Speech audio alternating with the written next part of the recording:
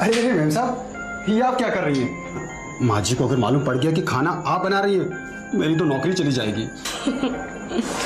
तुम फ़िक्र मत करो।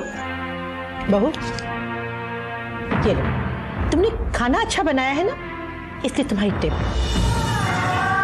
कौन ये मेरी होने वाली देवरानी।